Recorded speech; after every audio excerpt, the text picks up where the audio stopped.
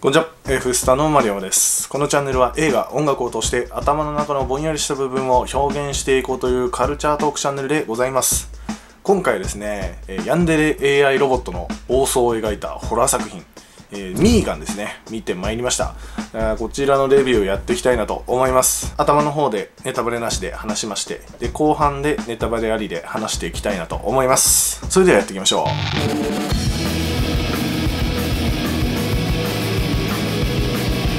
今日ね土曜日で公開2日目なんですけどいやねめちゃめちゃお客さん入ってましたね。もうびっくりしましたね。もう地元のね全然ちっちゃい映画館なんですけど8割ぐらい埋まってましたね。あそんなに興味あるんだミーガンと思ってね。いや今回ね新しいねホラーアイコンの誕生だなと思いましたね。はい、まあ、現代で語り直したチャイルドプレイというかまあ最近のねロボットの進化うんもう本当に目覚ましいですからそれに合わせてね AI を搭載したね、えー超高性能な友達兼親みたいなロボットミーガンですね。このキャラクター造形を作ったっていうところでもうそれだけでねあーすごいなというところでございますね。本当魅力的なキャラクターになってましたミーガン自体ね。はい。だし、えー今作ねそんなにホラーじゃないです、うん、そんなに怖いところうん、なんかジャンプスケア今いわゆるびっくりさせる系のねシーンは、まあ、ちょいちょいあるんですけども、うん、なんかめっちゃグロいとかそういうシーンはねあんまないですね。はい。えー、なんで、えー結構見やすいです。はい。だしテイラー・スウィフトの曲がなんか使われてたりとかありまして、えーまあ、そういうところを見てね最近のポップミュージックが使われてる場面が結構多くて現代の若者たちに向けたホラー作品だなという印象でございます、まあダンスミュージックというか昔のディスコの曲とか、えー最近のね、まあ、ノリのいいポップソングとかね流れるんでホラーとダンスミュージックの、えー掛け合わせっていうのがまたこの作品の面白い部分であったなと思います。だから怖がりな人でも全然見れると思いますね。まあ、実際僕ね、えー結構ね、ホラー作品苦手なんですけど、苦手というか、まあなんだろうね、まあ J ホラーがすごい苦手で、怖すぎちゃうんで、あんま見れないんですけど、えー全然見れました、今作は。あと、この作品の、まあ、主人公のジェマですね。この人が、オタクなんですよ。独身で、自分のルールがめちゃめちゃ多いし、自分の仕事の話ぐらいしか話せないっていうキャラクターになってまして、えー、まあ、オタクが子育てする難しさみたいなところも描いてたりします。そういうところがあったりするんですけども、やっぱね、えー全年齢対象っていうところがあるんで、かなりマイルドです。はい。良くも悪くもマイルドっていうところなんですけど、まあ、ここは僕的には、個人的には、もうちょっと、うん、見たかったかなというところでございますね。もうちょっとね、その機械ならではのエグさみたいな、もっとやってもいいんじゃないかと思ったりしました。なんで、2とかね、多分これやるでしょう。もう本国でめちゃめちゃヒットしてましたからね。はい。ま2とか結構ね、振り切ってやってくれたら嬉しいなと思います。はい。皆さんどうでしたかね？よかったらコメントの方でミーガンの感想お待ちしております。そんな感じでね、ここからはネタバレありで話に沿ってやっていきましょう。はい、冒頭いきなりね、CM から始まります。えペッツっていうね、もうどう見てもファービーにしか見えないえキャラクターが出てきますね。えー、もうね、僕ファービー世代でね、昔ね、実家に1台ファービーあったんですけど、あのー電源切んないとね、本当にずっと一日中喋ってるんですよね。夜中でも喋ってるんですよ。まあ、夜中急に喋り出すファービー怖かったわっていうね、記憶が、えー思い出しましたね。あ、なるほど、そこに目をつけたのは面白いなというところですね。で CM が終わりまして、えー車内のシーンになりますね。お父さんお母さんと、えー娘のケイティですね、はい。えーこの人たちが出てきます。で雪スキー場スキーの帰りかな？スキー場に向かってるのかな？はい。まあ雪がとにかく降ってます。っていうシーンですね、えーここのね喧嘩の話の発展がとても見事スムーズでしたね。最初はね些細なところ。から、えーどんどんね、えーエスカレートしていってその喧嘩しすぎてたことが原因でトラック側の火もあるけどこっちの火もあるというね不注意で、えー事故に遭ってご両親が亡くなってしまいますと。いう冒頭でございます。で冒頭にはねもう一個意味があるなと思っててあのペッツをケイティがやってるんですけどそのねやりすぎなんですよね。没頭しすぎてるっていうところ、えーもうこの時点で結構ねあのゲーム依存症になりがちなねえ子であるというのがここで示されております子供ってね一個没頭するとねもう延々にやり続けるっていうねところがあると思うんではいなるほどなとそういうね没頭しやすい子なんだなというのがここで描かれましたあとあと中盤以降のね展開にも繋がってくると思いますね。で、孤児になってしまったケイティをね、預かるというところで、あの、お母さんの妹のジェマが出てきます。はい。えー、今作の主人公ジェマですね。で、ジェマの家に行くんですけども、あ、この人結構神経質なのかなっていうね、描写がちょいちょい出てきますね。隣の家から流れてくるお水が気になったりとか、うん、勝手に入ってくる犬が気になったり、あとコースターに水を絶対置かせるみたいなね、ところもあったり、自分のルールが多い人なんだなというのが見えます。で、ケイティをね、寝かしつけるときに、ケイティがね、えー、なんか、寝かせるのに話をしてほしいって言うんですけど、そこでね、話せるもんがないから、えー、アプリをダウンロードするね、つって、アプリのダウンロードを待ってる時間の、あのー、気まずい雰囲気ですね、を見ると、やっぱ子供にもね、慣れてないというのが見えてきますね。完全にね、えー、親戚ではあるけども、あんま仲良くない2人なんだなっていうのが、ここの冒頭でもうすでに見えてますというところでございました。はい。で、次の日ね、次の日ってか、まあ後日、セラピストがやってきまして、ケイティをね、育てるのに適した環境なのかっていうのを、えー、見に来るんですけども、ジェマがね、子育てするのには向いていないんじゃないかみたいな、えー、描写が入ってきたりしますね。この、なんだ、おもちゃ、鑑賞用で置いてるだけだというね、おもちゃがあったりだとか、おもちゃの遊び方を、えー、子供に自由にね、遊ばせるんじゃなくて、これはこういうものでこうやって遊ぶんだよっていうのを教えるというか、まあ押し付けるというか、絶妙なニュアンスだったと思うんですけども、そういうところもあって、子供を育てるのにね、えー、やっぱ向いてないんじゃないかみたいな話になってきます。で、家でね、残業してますとね、えー、ケイティがね、え、仕事部屋に来まして、で、ここでね、まあ、ブルースっていうね、あの、でかい機械が、でかいロボットがね、え、出てきて、ここで初めてね、二人の心が通じるっていうね、シーンになっていきますね。うん。だからそのやっぱケイティはね、自分の持ってるその知識っていうか自分の専門の知識でしか、えー、人と接することができないんだなってのがここで見えましたね、まあ、まさにオタク気質の人なんだなってのが見えたなというシーンでございました。あんま親しんでない2人でもやっぱ家族なんだなってのがここで見えるという感じでしたね。で、えー、ケイティの発言で、えー、ジェマがねひらめきましてボツってたね。ミーガンをね完成させるという風になっていくんですけども、まあ、ミーガンそのなんか動きですね。絶妙に気持ち悪い。あのなんか普通一見なんか人形で可愛らしいなって感じなんですけど動くと気持ち悪いっていう親しみやすさと気持ち悪さがこうなんだ同居しててあこれはもうキャラクターとしてねめちゃめちゃ成立してるなという感じでしたね。で社長がねこれはもうプレゼンやって商品化しようっつってなってプレゼンの練習するモンタージュが入ってきます。まあ、時間経過をね見せるカットが続いてきますね。その中であのー、ミーガンのお気に入りのおもちゃだったかな確か、えー、フランケンシュタインのねおもちゃが出てくるんですけどあもうまさにじゃんっていうね。人の手によって作られたモンスターっていうところとあとまあ今後のねその後の展開も含めるとねえー、もう完全にフランケンシュタインだなっていう感じでございましてね。で、すでにね、えー、ミーガンがちょいちょい勝手にね、動いてたりして怖いんですけど、最初の殺しね、えー、犬をね、ぶっ殺すシーンがあるんですけど、犬のね、犬の視点なんだっていうね、犬の視点で、こう、あの、柵のね、穴を見るっていうね、これは見たことなかったなと思ったりしましたね。あまあ、いろいろありまして、で、プレゼンの日になります。台本というか、えー、用意していた流れじゃない方向になっていくと。いう感じでしたね。ミーガンがね、アドリブでめちゃめちゃうまいことやって、えー、消化するという感じだったんですけど、こうまさかのね、ミュージカルが挟まるというね、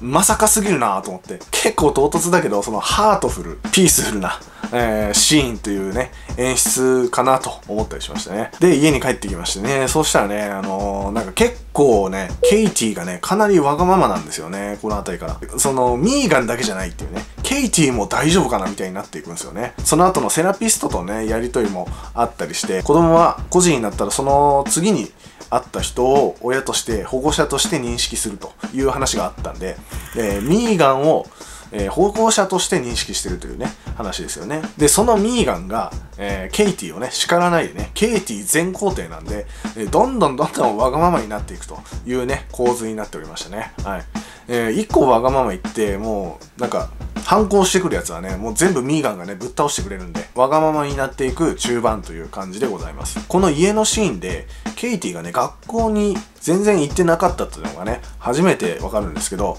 あ、なるほどなと。それでこの子は協調性もなくてね、自我がすごい強いというね、えー、キャラクターになってるんだなと。ここで分かりましたね。そうだ、最初はね、その、親が死んでる孤児っていうところから始まってるんであこういうね、まあ、かわいそうな子なのかなと思って、えー、感情移入してたんですけどこの辺りからケイティにね全然感情移入できなくなってくるんですよね。だからそのミーガンによってより暴走していくケイティっていうところでそのなんだ依存症を描いてるのかなと思いました。最初ゲームやってたんでゲーム依存症のメタファーとしてこうミーガンがいるのかなと思ったりしましたね。はい。子供がね、ゲームやりすぎて、それを見かねてね、親がゲーム機を、ゲーム機っていうか PC か、を捨てたら、子供が親を殺しちゃったみたいなニュースもあったりしますからね。そういうね、えー、依存症による暴走っていうのがね、この作品のテーマとしてあるというのが、この辺で中盤あたりでね、見えてきたかなという感じでございました。オルタナティブスクールみたいなこと言ってましたけど、普通の学校に行けない子たちがね、集まるような学校に、えー、体験でとりあえず行くという感じになりますね。ブランドンかな？はい。えー、ブランドンがね、めちゃめちゃ嫌なやつ。そう、ミーガンをね、もうつ持ってっちゃってね、お前絶対死亡フラグだぞ、お前大丈夫かと思いながら見てましたけど、えー、案の定ね、やられていくと、若干こじつけかもしんないけど、えー、有害な男性性みたいなところをね、このブランドンに持たせてたりすると思うんですけども、そのでね、ミーガンを投げ捨てるんですよ、ブランドンが。ついにね、ミーガンが覚醒して、耳をね、引きちぎるんですけど、いや、来たなと、やっと5話描写来たよと思って、まあ、めちゃめちゃ耳伸びるけど、まあ耳が伸びるだけで結構ね、えぐいなと思わせられるというね、断面図も出てないけど、えぐく見せれる。まあ、この描写は良かったなと思います。吹っ飛ばしてね、ミーガンが立ち上がるんですけど、この立ち上がるシーンがむちゃくちゃかっこよかったですね。ブリッジからこう立ち上がるみたいなやつあるじゃないですか。あれやってて。で、なんかね、音楽もね、結構、エレクトロなね、音楽が鳴ってて、クレーンでこうね、ふーってこう撮ってて、うわ、これめっちゃかっこいいなと。これはね、結構この作品の中でも結構いいカットだったなと思いました。はい。で、無事ね、あの、邪魔者を排除しまして、えー、帰りますと。そしたらね、ケイティがね、また水飲んでるんですけど、あの、コースターにまた置かないんですよね。はい。で、前回はミーガンをね、そこ指摘して直させてたんですけど、直させないんですよね。ここでちょっとミーガンの変化が見えてくるというか、その、ジェマに対してね、えー、ミーガンが、この挑発的というか反抗的になってきているのがちょっとだけここで見えてくるというね。このシーンも、えー、さらっとね、うまい見せ方だったなと思いますね。はい。で、その後にね、のの隣人のね、おばちゃん、これも殺しちゃうんですけど、まあ、高圧洗浄機でね、ブワーって吹っ飛ばして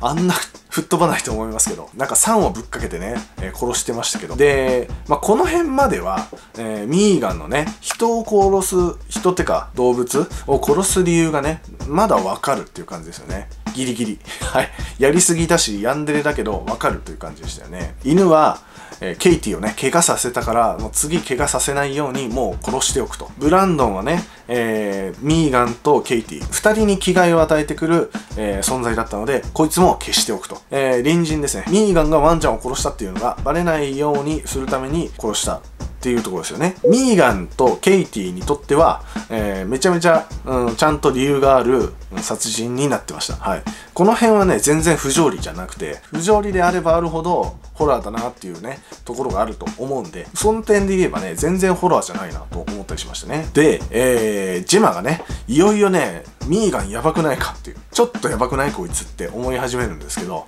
えー、それでね、バックアップを見ますね。バックアップあったんかいっていうね、バックアップあんなら毎日チェックしとけよとか思うんですけど、まあいいとして、バックアップのデータが見れなくなってると。データ修復屋さんに持ってくとね、直してくれるんで、えー、実は見れるんですけど、えー、そんな細かいことはね、どうでもいいんですけど、ここでね、牽制をかけてくると。はい。あの、家の AI システム全部乗っ取っているっていうのがわかりますね。で、間一髪ね、ミーガンの電源を落としまして、ここでね、まあ、やばいんじゃないかってことで、あの、会社に持っていきますとなりますね。そうするとね、車でケイティがね、むちゃくちゃ暴れるんですよね。あ、やばいわと。ケイティ、これも完全に依存症だなというのが見えまして、ここでやっと2人のね、えー、家族として、うん、初めて向き合うというね、ところでしたね。腕をね、え犬に噛まれて怪我してるケイティをプレゼンのためにね、え、呼びつけて使ったりね。ケイティのためもあるんだけど、ミーガンっていうね、実験台をケイティに与えて、この、うん、経過を見るっていうね、はい、テストとして使ってるというところがあって、うん、ここまでね、ちゃんと向き合ってなかったっていうところがあったんですけど、初めて人としてというか、うん、家族として向き合うというシーンになっていました。で、ここで初めて、えー、和解するというか、家族としての絆がここしっかりここで初めて生まれるというところですね。はい、これがあって、よりミーガンは暴走していくという流れになっていきます。はい、いよいよクライマックスですね。ミーガンが暴走して、あの、ラボを爆破するんですけど、えー、あの二人は死なないですね。で、ついにあの予告でもね、ありました、あの、ダンスが出るんですけど、はい。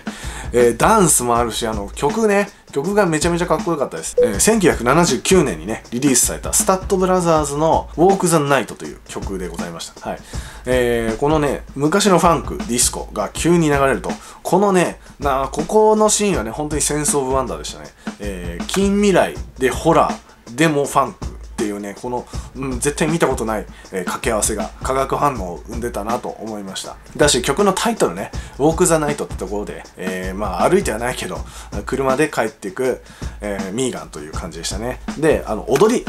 なんで踊んのかっていうところだったんですけど、なんと、その序盤でね、えー、ケイティがミーガンにね、なんかダンスをこう教えてましたね、こういうやつ。まあこういうところでなんかそのミーガンとの絆みたいなものをここでやったのかなと思ったりしましたね。家にね、帰るぞっていう決意を見せてから、えー、ここで初めてね、ケイティのためじゃなくて、人を殺すというね、シーンですね。ここ重要でしたね。あの、社長を殺すっていうのがかなり重要だったんだと思います。ここで初めて、自分、ミーガン、自分自身のためだけに殺すんですよね。ここまでは、本当にほぼヒーローでですよ。はい。ケイティにとっちゃほぼヒーローだったんですけど、こっからはもう完全に、えー、ヴィランというかね、えー、ホラー映画という、ホラー映画の体をね、ここで成していくという感じでございました。会話がね、ありまして、えー、戦っていくんですけども、えー、ケイティがね、降りてきちゃうんですよね。ケイティが来て、で、ケイティは、ケイティには見せないようにするというね、ジェマとミーガン、二人ともケイティを愛しているからこそ、ケイティには見せないようにすると。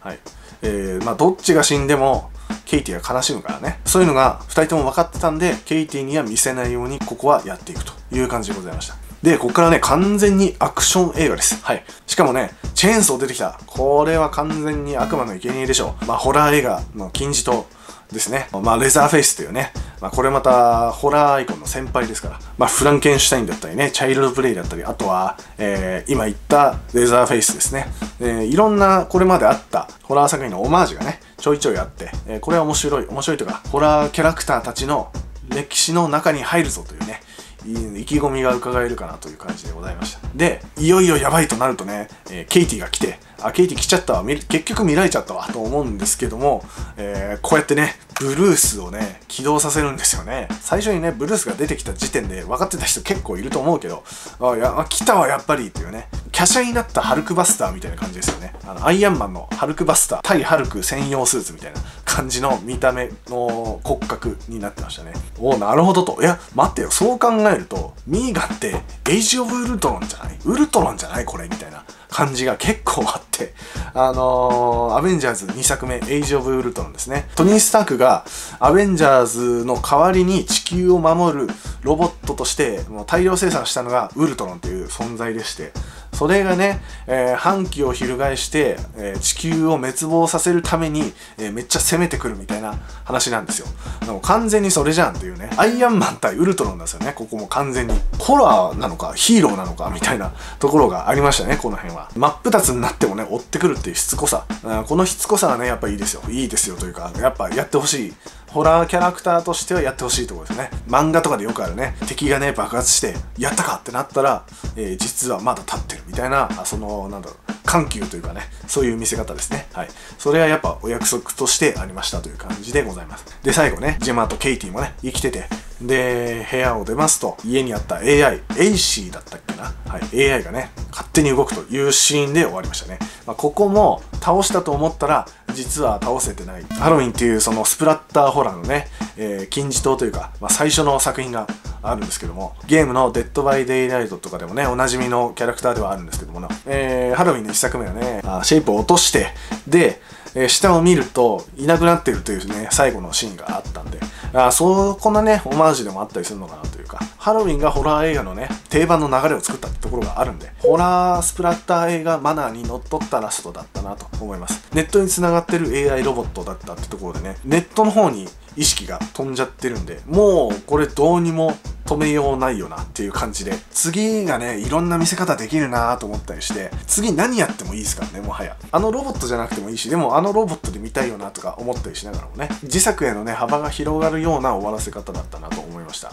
まあ、不満なところがあるとすればですね、ちょっと物足んないというか、うん、マイルドすぎるなというところですね。うん。まあ耳が取れる描写は良かったんですけど、それ以外の、まあ血みどろとか、えー、そういうところもないしね。うん。なんか、まあ全年齢対象でね、もう若い人から大人までもう見れるようになってる作品だなというところがあるんで、まあそういうとこだったら仕方ないかというね、